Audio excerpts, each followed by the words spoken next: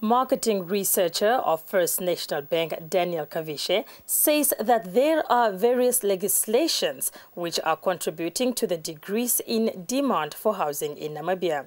Kavishe made these remarks in an interview with the News on One as he reviewed the housing prices for the second quarter of this year.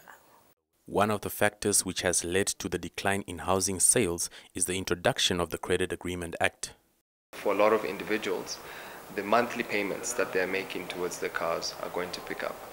So you would opt and hope that most individuals would rather consider property over vehicles. But Namibian past behavior has shown that, that they tend to equate the two to be the same.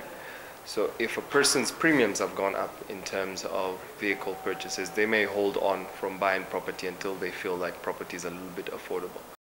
Kavishe added that many people are reluctant to buy property because of the uncertainty in the market. A lot of people are still quite jittery about participating in the housing market simply because they're uncertain about what the future holds.